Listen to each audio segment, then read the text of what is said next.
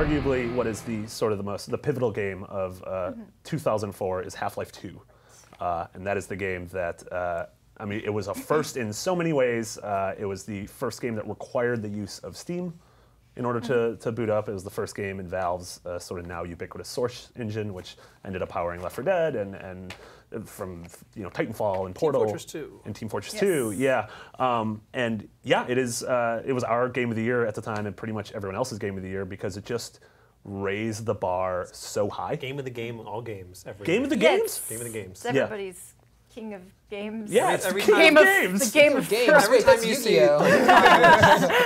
Every time you see topless, it's always hanging It's- around up there. Yeah. It just it's to this day uh, you can go back and play it right now, and I'm still blown away at like how they are managed to craft this wonderful FPS story that doesn't require cutscenes, Mm-hmm. doesn't require taking a cinematic on and go, hey, you gotta look at this. They'll direct like if you go through the developer commentary for this game, you find so many interesting things of like how they're able to go like, we want people to look at this, you know, explosion. So we just said, hey, let's kind of let the player go this way, and then they'll see this thing that Mm-hmm. happens. And otherwise, you'd be like, every other game developer would say, "Oh, I gotta have a cutscene to show this thing." No, they were just like, you, as you walk, you're seeing the story unfold before your eyes, and you can actually just turn around, and look the other way if you wanted to.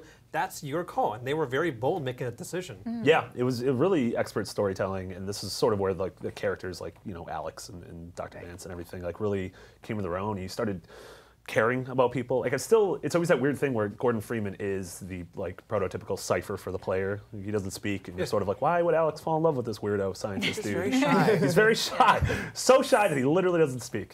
Um, I'll even see polls of like who is the greatest video game character of all time. And a lot of times Freeman wins. Yeah. Yeah. What, Yeah. what do you think is the appeal of the character for that? Glasses.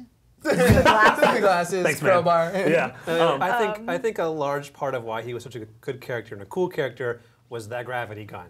Yeah. That was the coolest the coolest weapon in a, in a FPS game I've Yeah. ever used. Being able to manipulate everything from when you first the, the way they set it up, where you first get to play fetch with the robot Yeah. dog, and like, oh no, an explosion! Better go to that town everyone says not to go to. Yeah. Oh, by the way, there's saw blades everywhere with your gravity gun. got- I'm like, yeah. oh, yeah.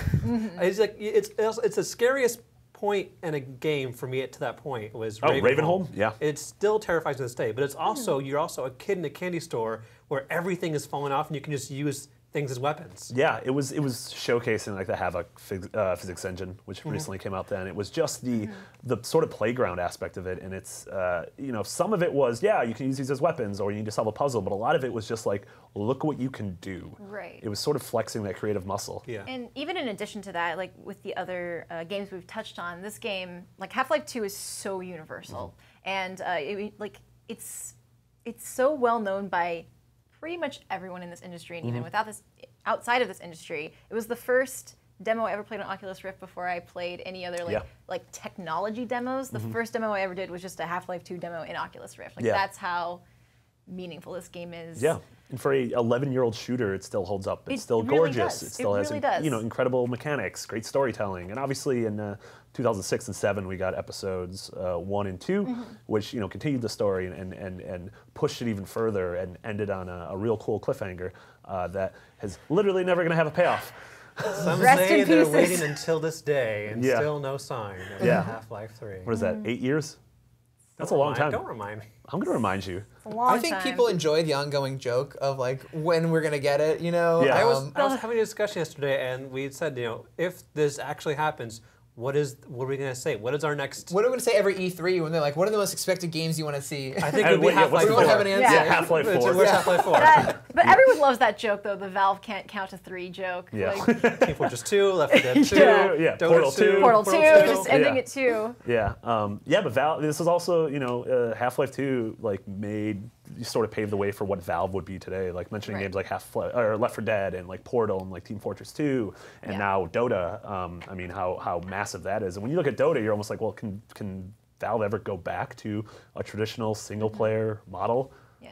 Yeah. But it really did establish them. Half Life 2 really did establish. Yeah, I mean, such a yeah, such a phenomenal game that, and that's sort of the reason. Like, I think the Last Guardian is the only other game where we sort of do that thing with like, when are we gonna see the Last Guardian?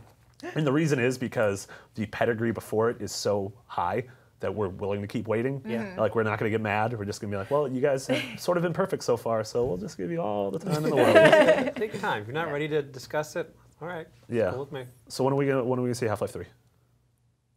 Are we What calling years it? is it Are now? we making We're calling it. Are We're we calling it. psychics? Yeah, We're in 2015 now? we're in 2015. 2030. 20 2025. I'm just, I'm just gonna, I'm gonna go call never. Like just never. I don't know if you can ever win though, but you can never lose. oh, y- Ah. The betting. only, winning move is, the only winning move is not to play. Yeah. Hey, if you die in the game, you die in real life. Yeah. All the references. Wayne references. Gretzky.